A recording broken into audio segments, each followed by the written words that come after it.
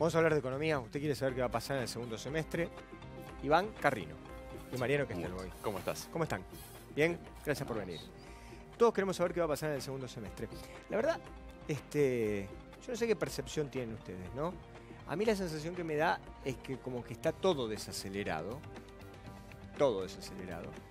Y esto, a mi modo de ver, por lo, sin ser economista y por lo que uno percibe en la calle, y esto tiene que ver también con una cuestión de temor que en general tiene la gente, en función de que tiene miedo desde aquel que tenía un empleo asegurado, me refiero, tiene miedo de perderlo. Algo que me parece no le entraba en la cabeza o no le pasaba por la cabeza en estos últimos años. Entonces, es como que a mí me da la sensación que la gente está como más conservadora para todo. Para todo, para irse de vacaciones, para gastar, para comprarse cosas. Eh, yo no sé cuál es la percepción que tienen ustedes y qué creen ustedes que va a pasar en el segundo semestre. a mí me parece que claramente la mayoría de los argentinos perdieron poder adquisitivo en estos últimos seis meses. Eh, muchos de los trabajadores, eh, alrededor de la mitad de los trabajadores, eh, acuerdan sus aumentos salariales por paritarias y la mayoría de las paritarias, de los incrementos, recaen en estos meses, así que debería haber una parcial recuperación del poder adquisitivo. sin embargo, el proceso inflacionario, si bien hay consenso entre todos los analistas de que se va a ver una desaceleración, no va a haber una inflación del 5 o 6% como estos últimos meses, sino que seguramente estarán en el orden del 2 y el 3% en los próximos meses, seguirá estando latente. Entonces, seguirá, seguirá habiendo una erosión de su poder adquisitivo. Y obviamente hay un reacomodamiento constante de precios relativos y el trabajador es conservador porque obviamente está perdiendo poder adquisitivo, lo ve diariamente y el, empresario, muchos empresarios confiaron en el gobierno nacional, creyeron que iba a llegar la reactivación de la economía en el segundo semestre. Lamentablemente no hay ningún indicador que esté mostrando eso y entonces muchos de los empresarios postergaron sus decisiones de despidos, avanzaron con suspensiones, con acumulación de stocks. Una política de la acumulación de stocks es mantener la, fábrica andando, pero una vez que acumulaste ya dos, tres meses de stocks de producción y las tasas de interés son muy altas, es una estrategia que no es favorable para la rentabilidad de la empresa, entonces terminan finalmente, lamentablemente, despidiendo personal y eso se está viendo en los indicadores de empleo registrado del sector privado que en, estos últimos seis meses ya cayeron 42.000 puestos de trabajo. ¿Coincidís? Eh, parcialmente, ¿no? Es claro que la economía está en recesión, lo muestran los datos oficiales, digamos, la economía está cayendo. Igual esto venía, digamos, arrastrándose ya de 2015, tenemos tres trimestres consecutivos de caída. Esto es economía en recesión, es decir, producimos menos de lo que producíamos antes. Eso es claro, ¿no? Este, después el tema laboral me parece que está estancado, puede haber despidos, pero en el neto los indicadores de empleo privado están estancados, tal cual venían hace cinco años. Y lo que hay que destacar es de dónde venimos. O sea, no podemos analizar la economía en el vacío y decir, bueno, primer trimestre, segundo trimestre, segundo semestre. Incluso creo que se le dio demasiada importancia a lo que va a pasar en el segundo semestre y ahora estamos todos con la expectativa de que... Es un error comunicacional del gobierno. Bueno, sí, seguramente, porque ahora estamos todos con la expectativa de que el segundo semestre, que se han hecho varios memes en las redes sociales de que se venían los globos amarillos, toda la felicidad. Claramente, digamos, es difícil, las cosas no cambian de la noche a la mañana. Pero me parece que tal vez la parte más eh, dura del ajuste que era necesario hacer, porque la economía había que rebalancearla, digamos, eh, se ha hecho, o sea, pero eso obviamente pegó en la actividad. Cuando el dólar pasa de estar en un ficticio precio de 9 a 14, eso impacta. Las tarifas también, ¿no? Obviamente, estábamos, nosotros consumíamos en el supermercado porque las tarifas valían 40, 50 pesos. Ahora hay que pagar mucha más plata por la tarifa, entonces vamos a cuidarnos con lo que consumimos en el supermercado, por ahí vamos menos al cine, digamos. Esas cosas empiezan a ver. Pero hay que entender de dónde veníamos, ¿no? La situación era muy complicada, era una economía estancada, con mucha inflación y además con inflación reprimida. Entonces había que manejar la, cuestión con delicadeza, ¿no? Y bueno, eh, evidentemente hubo un impacto. Eh, a ver, en términos de competitividad, que es lo principal para que se reactive la economía, eh, es una de las pocas veces en la historia económica argentina que hay una devaluación del 60% y la competitividad pasados seis meses es peor aún. No solamente entendida desde el atraso cambiario porque aumentó el precio del dólar y la inflación aumentó también y, perdió competitividad desde ese punto de vista, sino también porque al haber recesión, haber caída de actividad, las empresas tienen costos fijos en alza, tarifas de los servicios públicos que en términos relativos aumentaron mucho más y las empresas en general demandan mucha más energía eh, para, producir. Entonces, eh, en una situación de, de, caída del nivel de actividad, los costos fijos pegan más fuerte sobre el, no pueden prorratear en un volumen más alto de producción los costos esos fijos que tienen que no los pueden pagar de otra forma. Entonces, de esa forma, las empresas están en una situación muy delicada y esto se combina con un contexto internacional eh, difícil, en recesión el principal socio comercial de la Argentina, Brasil, y eh, con una política económica que está volcándose a ser más liberal en el sentido comercial que el gobierno anterior y entonces la participación de las importaciones en el mercado nacional está creciendo. En un contexto recesivo, eso es una clara pérdida de participación de las empresas Me gustaría que en un minuto conteste Iván y después tengo un par de preguntas yo para ustedes. Dale. Sí, No, sé si no, sí, por eso la competitividad de la economía es importante ver el tipo de cambio que pasa con la inflación, pero hay que verlo en términos más globales, ¿no? O sea, hay, por ejemplo, si vos le das al mundo señales de que sos un país con respeto por las instituciones, por la propiedad privada, que vas a un, a un país con mayor estabilidad de ciertas reglas de juego, eso es clave para la competitividad. Porque ¿qué pasa? Los inversores de afuera dicen, mirá qué interesante Argentina, vamos a invertir ahí, vamos a hacer una fábrica, y eso mejora la inversión y la productividad, la eficiencia, la capacidad de producir de acá al futuro. Esto es mirando a mediano plazo, ¿no? Entonces, eh, eh, pondría en contexto ese tema con la competitividad. Me parece que la agenda Me gustaría de este verla la fábrica, si yo la verdad que tengo una visión un poco menos romántica de la historia y bastante más eh, dura en función de lo que uno advierte y sobre lo que uno ve. Eh, a ver, nadie puede decir que Estados Unidos no es un país atractivo para invertir. Lo ha sido históricamente. Hoy hay un presidente que está a punto de ganar, que es Donald Trump, porque le está diciendo a los americanos, muchachos, las zapatillas Nike no se hacen más en Estados Unidos. El iPhone no se hace más en Estados Unidos se hace en un buque factoría con trabajo esclavo. Y la fábrica, y acá nadie invierte, no hay, no hay trabajo y, el americano se está quedando sin trabajo. Por eso también viene toda una cosa de una ola inmigratoria, los, problemas este que están habiendo en Europa, la, salida de Gran Bretaña de la Unión Europea a consecuencia de eso. Yo tengo una visión un poco menos romántica respecto de que vengan capitales y empresas este, a invertir en la República. además, en un, en un La verdad, y no, no, no, es porque, no es por ser negativo, y no es por ir en contra de la, de la idea que tiene el presidente de la Nación respecto a este tema. Mm, lo veo difícil. Está, bien, pero digamos que coincidimos en que es necesaria la inversión, ¿no? O sea, inversión es necesaria sí, para producir pero no en este contexto, porque si no, la gente está esperando siempre, terminás esperando lo que, te venga Hernán Cortés con los espejitos de colores. y no te va a venir. No, no necesariamente. a ver, una cosita, Iván. Sí, sí, eh, el gobierno, ni bien asumió, dijo que, bueno, llegaba justamente la confianza, llegaba un gobierno serio, el Dream Team, medidas económicas favorables a los mercados y, con eso una lluvia de dólares, lluvia de inversiones. Y lo único que llegó hasta el momento, afortunadamente, pero es un eh, problema para el futuro, es la lluvia de los pasivos. Lluvia de deuda, endeudamiento externo. Eh, este año van a ser más de 30 mil millones de dólares de endeudamiento, más de lo que teníamos de reservas. Es una situación delicada. Y en, este, en este contexto de, endeudamiento, eh, tenés al mismo tiempo, como decía, un atraso cambiario que, por ejemplo, hasta el año 2011, el, el asalariado industrial en la Argentina cobraba un 30% más que el brasileño. Históricamente la diferencia era, el, argentino, el obrero en la Argentina es más productivo que el brasileño y cobraba un 30% más.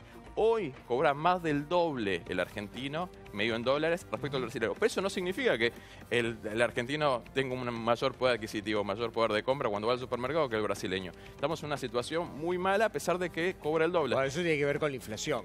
Sí, y con los altos costos internos medidos en dólares de todos los productos que Argentina, Argentina no comercializa internacionalmente.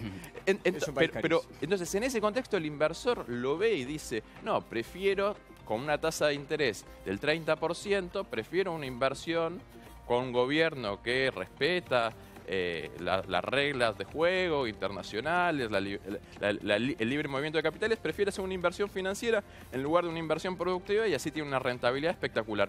Pero esto, esta película ya la vimos. Lamentablemente, en el corto, mediano plazo, termina en una explosión social. Entonces, hay que tener mucho cuidado con eh, las políticas a favor de los mercados cuando no van acompañados de programas estratégicos para desarrollar la producción. Yo, soy igual de crítico que Mariano con el tema de la deuda y la deuda externa, la deuda interna, digamos, pero el problema básico de, la deuda siempre es el déficit. En una familia vos no podés endeudarte si no gastás más de lo que ganás. Cada vez que te endeudas es porque gastaste más de lo que, de lo que ingresaste. Al gobierno le pasa lo mismo. El gobierno tiene un déficit fiscal heredado muy grande y ahora está viendo cómo lo baja, cómo lo maneja. Parte de ese manejo es endeudarse. Eso es un riesgo. Y me parece que todos los analistas tenemos que estar mirando ese dato. ¿Cómo va el déficit? ¿Lo estás achicando? Porque si no nos vas a traer problemas a largo plazo. Entonces, en eso, sin duda estamos de acuerdo. Parte de respetar las reglas a nivel internacional, parte de dar certidumbre es tener las cuentas públicas en orden. No hay país en la región que tenga un déficit fiscal tan grande como el nuestro. Tal vez Brasil, pero otros no. Les puedo pedir a los dos que hagamos un ejercicio para tratar de la gente que está del otro lado, darle algunas pistas sobre lo que van a pasar en los próximos seis meses. ¿Sí? Primero, según tu punto de vista, ¿qué pasa con el dólar en los próximos seis meses? Va a seguir subiendo, eh, pero no se va, a haber una devaluación desbocada. Hoy está en 15-20. Eh, no, no, a 20 no va a ir. No, no, no, perdón. Hoy está en 15-20. 15 con 20. Sí, 15 sí, sí, 15, sí. ¿Cuánto calculas Y yo creo que se va a ir acercando a los 16 pesos, 16,50 para fin de año quizás, pero no va a haber un movimiento muy brusco. A lo sumo 17 pesos. Tranquilo. Sí. Yo creo que este mes subió mucho también por el tema Brexit ¿sí? Y la política monetaria que está bajando la tasa de interés.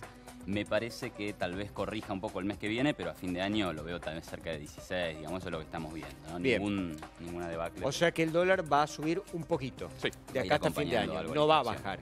No va a bajar de ninguna forma. De ninguna no, en un contexto con inflación. No, no, digo porque en función de que hay algunos empresarios que han salido a decir, este, en el caso de Ratazzi, que el dólar está barato y una serie de cosas, todo eso despertó también este, un montón de, de suspicacias. Eh, el tema de los precios. ¿Cómo creen ustedes que va a ser el comportamiento de los precios de acá hasta fin de año? Para la señora que va al supermercado, para este, el que se quiere ir a lo mejor de viaje, el que tiene programado hacer alguna cosa. ¿Qué van a pasar con los precios? ¿Van a bajar los precios? ¿Se van a mantener? ¿Van a seguir subiendo? Se, arrancó primero. No, los precios no, no van a bajar. Eso sería tener deflación. Sería ideal que bajen los precios. Lo que sí va a pasar es que van a subir mucho menos de lo que venían subiendo. ¿no? Eso responde a una nueva Hay precios que bajan. ¿Hay precios que bajan? Sí. Bueno, puede haber ofertas que bajaron. no, puede haber ofertas puntuales o precios estacionales. Yo vi precios que bajaron. El kilo de naranja en el verano está más caro que ahora. No, eso es verdura, eso es otra cosa. Pero yo, por ejemplo, eh, compré 3 litros de aceite, 3 litros de aceite, y lo pagué, te voy a decir, lo pagué, eh, eh, perdóname, eh, no me acuerdo, 80, no, espera, 70, 73 pesos. 3 litros de aceite, 73 pesos. Y un litro de aceite de maíz cuesta 50. Entonces, lo que te quiero decir es, a ver, esa es una muy buena oferta. Realmente es una buena puede oferta. haber Ahora, estamos hablando de los precios a nivel general no van a bajar. y agregado. Bajar... Bajar quiere decir que en junio el índice de precios cae 3%. Eso no. En otros lugares del mundo los precios bajan. Sí, pero no en Argentina, pues es un país con alta inflación, ¿sí? Y con una emisión monetaria que crece alrededor del 20 y pico por ciento. Pero como esa emisión ahora es mucho menos de lo que era antes y como se espera que vaya bajando incluso, eso sí va a tener efecto sobre los precios y como decía Mariano, tal vez el mes que viene veamos una inflación de 2, 2,5, que es lo que ya algunas encuestadoras privadas eh, relevaron. Y yo te diría que tal vez en diciembre estemos viendo una inflación mensual de 1,5%. Sí, seguro que va a haber, va a seguir habiendo ofertas, eh, pero a nivel generalizado, agregado, como dice Iván, no va a haber una deflación. A ver, las ofertas son cuestiones puntuales. Y yo creo que la desaceleración de la inflación tiene que ver con los trabajadores que tienen menos poder de compra, entonces los comerciantes no pueden aumentar los precios. Eh, no, no, no, avalan los trabajadores esos aumentos de precios. Eh, un recorte del poder adquisitivo de la población no menor al 10% en los primeros seis meses del año eh, y bueno, y esa caída en el consumo obliga a las empresas a reducir su producción.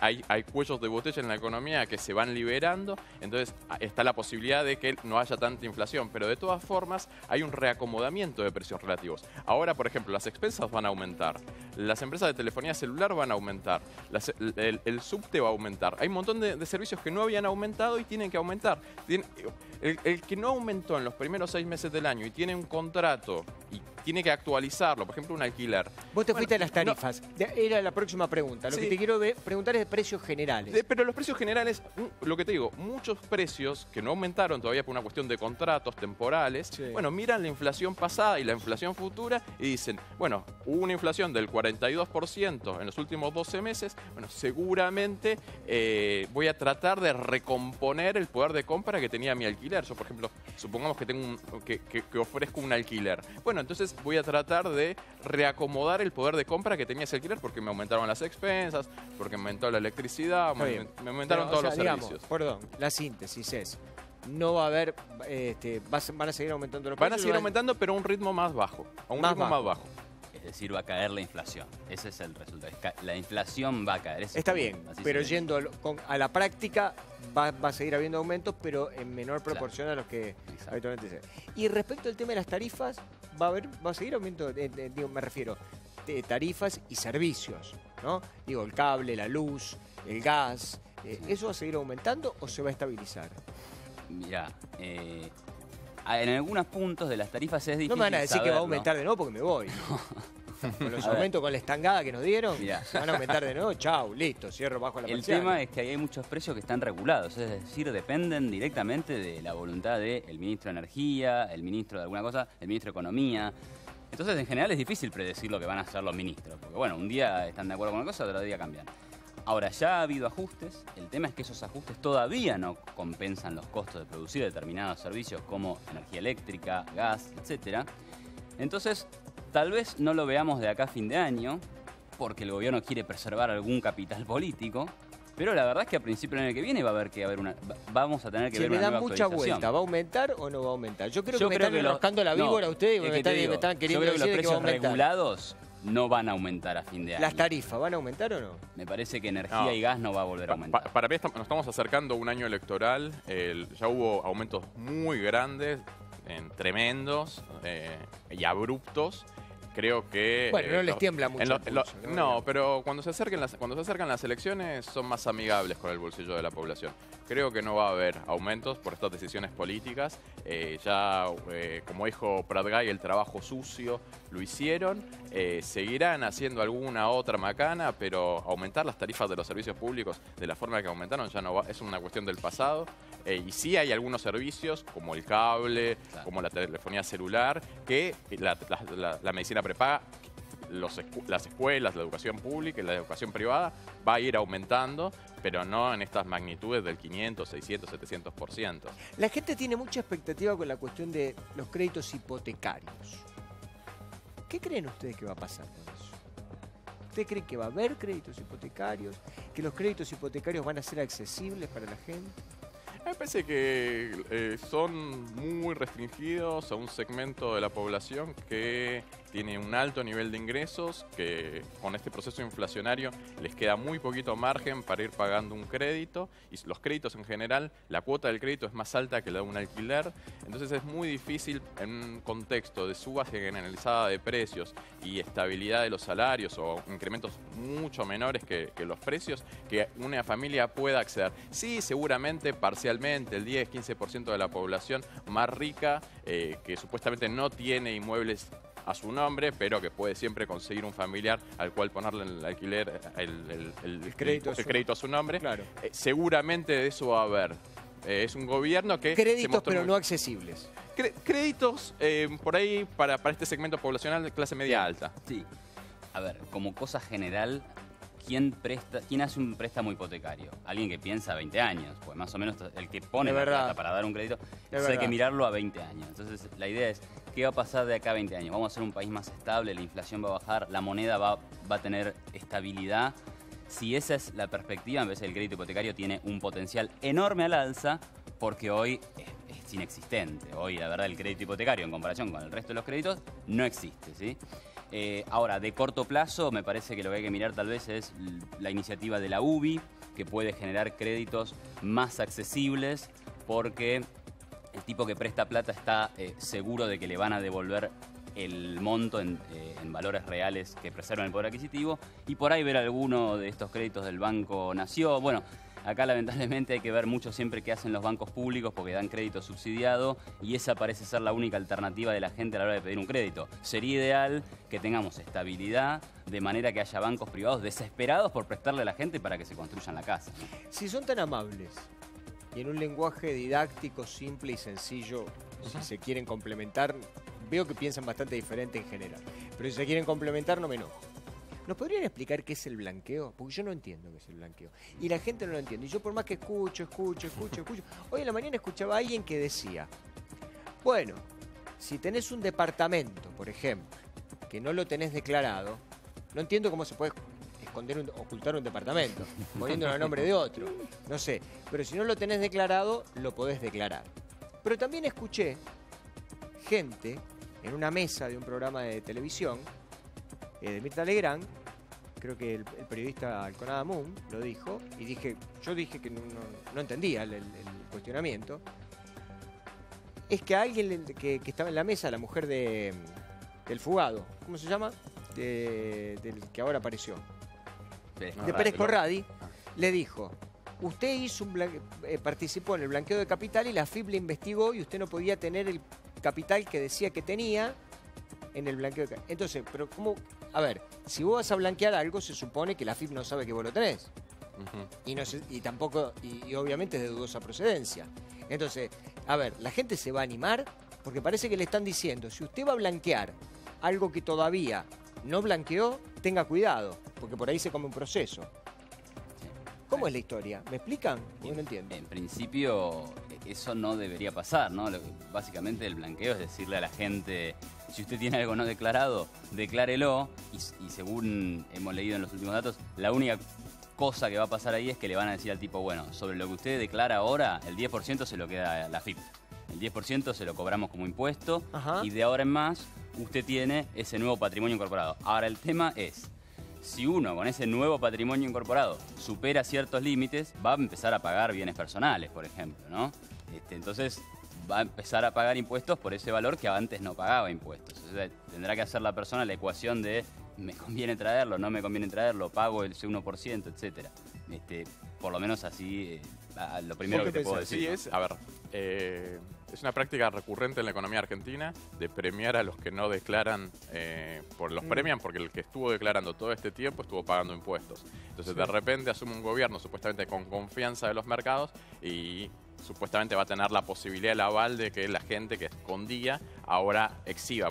Hay un nivel escondido de recursos de la economía argentina en torno de un Producto Bruto Interno. Todo lo que produce la economía en un año, más o menos, está escondido en algún lado. Puede ser en, casas, en escondites en las casas, puede ser en un banco en el exterior. Si yo te dijera, yo tengo 5 millones de dólares, no lo tengo, muchachos, digo por la duda, ¿eh? A ver, este, no, no hacen... Eh, pero yo te digo a vos, o a vos, me asesoran este, este, de economía. Tengo 5 millones de dólares en el colchón. ¿Vos qué me aconsejarías? ¿Que me presente el blanqueo? A ver, eh, depende de lo que vos quieras hacer. A ver, en, hoy las, tasas de interés en la economía argentina son muy altas. Es, ese dinero que está escondido, que está guardado, eh, va a tener un rendimiento financiero mucho más alto que el pago de impuestos. ¿Y la FIP no me va a preguntar de dónde sacó los cinco palos? Supuestamente no. ¿No me lo va a preguntar? A ver, lo que pasa es que hay que diferenciar. Bueno, Alconada Moon dijo el otro día a la mujer de Pedro Correa y le dijo, usted, la, usted puede ir presa. Lo que pasa es que hay que declaró una cosa que no era. Porque una cosa es eh, cometer el delito, digamos, de evadir impuestos, ¿sí? Y otra cosa es que el dinero uno lo haya conseguido por corrupción, por venta de armas, por, negocios ilegales. ¿Qué se creen ustedes que la plata en negro, la plata mm. que se va a blanquear? Mirá, no necesariamente. Fíjate el caso de Messi en España, que le hicieron un juicio. Hay que ver cómo termina eso, ¿no? Pero básicamente a él lo investigan por defraudar al fisco. Pero todos sabemos que el dinero él no lo consigue de manera ilícita, ¿no? Entonces hay que hacer claramente esa diferenciación. Si viene una persona, blanquea 5 millones de dólares, bueno, por ahí lo investiguen, pero porque sospechan del origen ilícito de los fondos, no por los 5 o 4 millones de dólares. Si vos traes 5 millones de dólares y te investigan y resulta que, bueno, hiciste plata, no sé, vendiendo bienes, pero decidiste no pagar impuestos, bueno, el acuerdo es me solamente te cobro el 10. Me parece que la plata más grande está ahí, muchachos. sí, ¿eh? totalmente. Y, Hay y bueno, entonces no hagan el blanqueo porque no le van a dar garantía a la gente que quiera blanquearlo. Pero bueno, igual es una discusión ética o antiética o de, o de corrupción o moral, que en realidad yo no me voy a poner del lado de un tipo que es narcotraficante y que tiene que blanquear la plata. Eh, gracias a los dos, eh. gracias. Nos, nos dejan preocupados, eh. la mm. verdad que nos dejaron muy preocupados para el segundo semestre. Señoras y señores, vamos a la ciudad de Buenos Aires para ver cómo está el tiempo a esta hora y qué